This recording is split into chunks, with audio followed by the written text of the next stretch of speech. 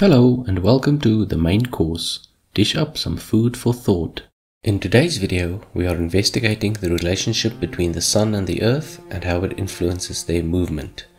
We specifically consider their rotation and tilt, why seasons occur on Earth, and why the polar regions experience such long periods of day and night. In a previous video on the orbit of the Moon and the Earth, we saw that for two bodies in space, the position of the barycenter or center of mass around which they orbit is determined by the respective masses of the bodies. The Sun accounts for 99.86% of the mass of our solar system. Theoretically, the planets orbit around the Sun in elliptical paths, but since the Sun's mass is so much more than the rest of the objects in our solar system, the barycenter of each planet with the Sun is extremely close to the center of mass of the Sun. The deviations of the elliptical paths from perfect circles are therefore very small. For the Earth, the longest radius of its elliptical path is only 3.4% longer than the shortest radius. The planets in our solar system all orbit the Sun on a plane that deviates only very slightly from the horizontal plane. But there is something strange about this plane.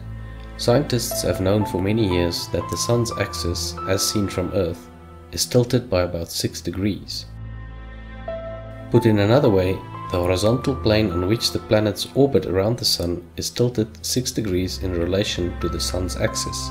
It sounds like a little, but since the Sun accounts for 99.86% of the mass of our solar system, this is an unexpectedly large angle. Scientists have not yet confirmed why this 6 degree tilt is present, but one theory states that there is another unknown planet about 10 times the mass of the Earth which orbits the Sun in a completely different plane and a long way off. The hypothesis is that this planet affects the orbital paths slightly and that those forces over all these years have led to a cumulative effect of a 6 degree tilt. However, this theory has not been empirically confirmed. Something interesting about the Sun's rotation around its own axis is that it does not happen uniformly throughout. The Sun consists of hot plasma, of which about 73% is hydrogen and 25% helium. The plasma experiences constant turbulence and it takes the plasma at the equator about 25.6 days to rotate around the axis, while the plasma at the poles takes about 33.5 days. The Earth, on the other hand, is tilted at 23.44 degrees. This tilt is responsible for seasons on Earth because, as the Earth orbits the Sun, it causes the angle of incidence of the sunbeams for a specific place on Earth to go through a repeating cycle. The angle of incidence is the angle at which the sunbeams hit the specific place on Earth. When they approach almost from the side, from the horizon, the amount of energy that reaches the Earth is considerably less compared to when it approaches the Earth from straight up above. Let's see what the Earth would look like from the Sun.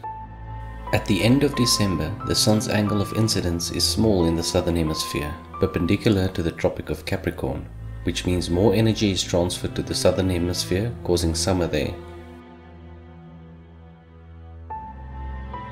As the Earth orbits the Sun, the southern hemisphere starts turning away from the Sun and autumn sets in.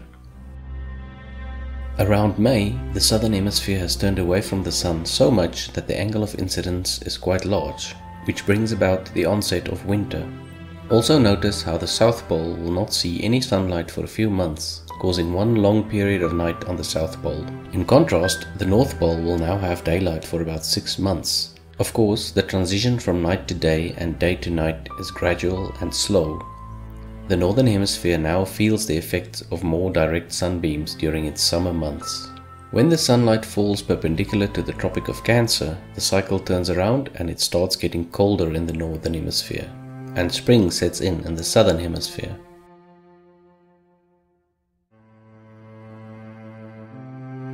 This cycle repeats each year since the Earth takes one year to complete one orbit around the Sun.